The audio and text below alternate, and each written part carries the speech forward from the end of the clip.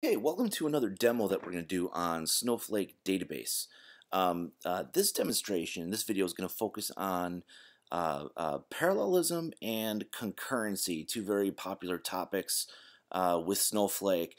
Um, I'm not going to cover uh, parallelism uh, in terms of query performance. I think most people get that, you know, the more servers you have uh, in your cluster, the faster your queries are going to be. I'm going to focus more on, on the data ingest, the data loading process, and what parallelism means to that. And we'll, we'll take a look at that quickly here. So um, uh, just to start off, I put some, I had some Chicago crime data uh, that I have locally on my Mac here, and I took the liberty of, of already putting these files up into the cloud and staging them uh, in my Snowflake user stage. And again, I did another video on that. You can see how to do it. It's pretty easy. It was just running this put statement to do it. Um, uh, obviously, the file's just you know 1.3 gig. I compressed it down to 300 some meg.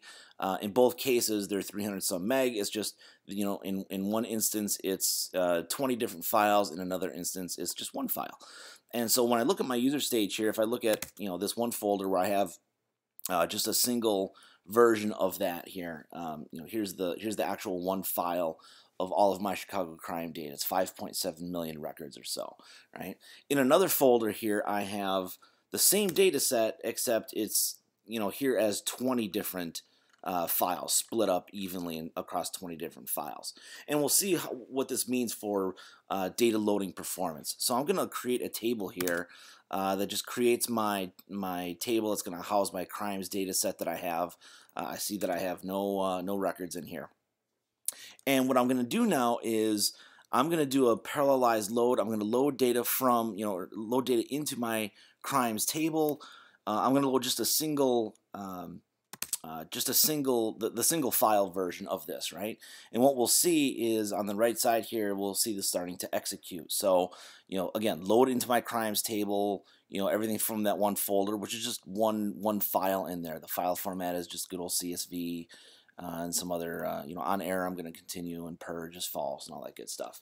I can see the process that I'm, uh, that a progress that I'm making here. Uh, about a quarter of the way through this. Uh, I think this should take somewhere around 40 seconds or so. Again, to load the 5.7 million records. Not the worst performance in the world. Again, this is just an extra small cluster. Uh, it's just a one node cluster, eight cores, you know, reading that file. Um, and there we have it, right? So 5 point, uh, 5.8 million records that we loaded in about 42 seconds there. Um, again, that that's fine, but I want to take advantage of parallelism, right? So when I, you know, when I do the count here, there's my 5.7 million records. Um, what I'm going to do here is is now try to load the same data. I'll recreate this table, and of course I'll see that there's no data in here. Uh, now I'm going to load the data using um, uh, all the files, those 20 files uh, that are in another folder here. And when I do that, again, I'm taking advantage of the parallelism. So instead of taking 42, 43 seconds to, to load the 5.8 million, this should be somewhere along the lines of 15 or 16 seconds or so, or less. There it is, 11.8 seconds. Again, same amount of data. There's my 5.8 million records uh, but it did it in, in just under 12 seconds here. Again, I took advantage of parallelism. So a lot of people ask, well, why do you want me to, to split up the files before we put them out in the cloud, right? Well, this is why. I, I want you know ongoing load performance, uh, uh, whether it be initial you know migration or or incremental load. I, I want it to be fast. So uh, just a little technique there of why we do that. The other thing I want to talk about is is concurrency, right? And so I have another database here. Um, I've got a database that, or, or another uh, uh, Snowflake account here. I've got two warehouses spun up, two compute clusters, warehouse one and warehouse two. And I'm going to run, I'm going to use a shell script that's going to call a query uh, using one of these clusters and, and we're just going to see the performance and we're going to see what happens when we you know add more queries and then how we can isolate those workloads and, and why uh, uh, con uh, uh, concurrency is so easy to handle in Snowflake compared to other platforms you might be looking at, including Hadoop or other MPP databases. So um, what I'm going to do here is I'm going to bring up a little cluster here, or a little window that I have here. Uh, let's do a little directory check here, and I'm going to launch, uh, let's just do Snow 2 uh, here. And what we'll see is that this is going to launch a couple. I'll look at the history window here. This is going to launch a couple queries right now. And I can see that two queries are actually running on Warehouse 1, and I think they're probably done already, actually. Uh, it's the exact same query that's just launched uh, exactly in parallel here. Uh, we see that they finished in 7.2, both finished in 7.2 seconds. Uh, the result set is 10 rows, right? So um, it's both queries that are that are exactly the same query, but that's the parallelism, or, or that's the that's the, the that's two queries working together, right? Now what I'm going to do is I'm just going to close this up here. Now I'm going to launch a different script that launches four of those queries simultaneously instead of just the two. And what we'll see here is I'll refresh this and I will see four queries now running, right, on Warehouse 1 here. And so instead of being done in seven seconds like the previous uh, uh, queries were, these are going to take probably a little bit longer, right? There's because they're competing for resources. There's more queries going after this medium-sized cluster here.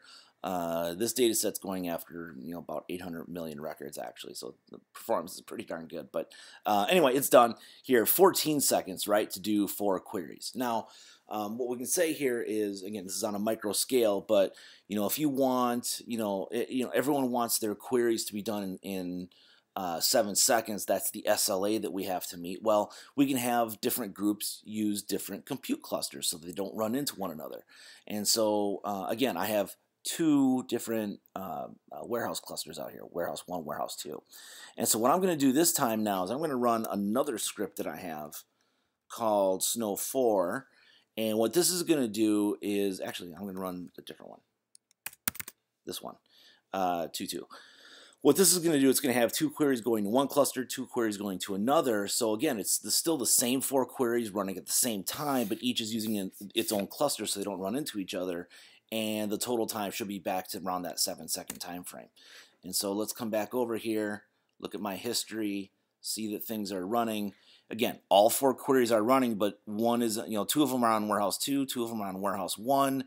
And when I refresh this, there they all are. They're all done at, at, at the seven second mark. Actually, one got done a little bit sooner, 6.4 seconds. So the idea here, though, is that we isolated, you know, uh, uh, uh, workloads where one group could be using a cluster, another group could be using another cluster, and even though they're running at the same time, they, they didn't kill each other on performance, right? This is on a micro scale, but again, we could do this at, you know, at a large scale in an enterprise. It's how we manage very easily who has access to what compute and horsepower and make sure that nobody runs into one another, that everyone has a good, clean, uh, uh, high performance environment. So uh, just wanted to uh, go through those concepts of parallelism and concurrency with you. Hope you enjoyed it. Uh, we'll see you in the next demo.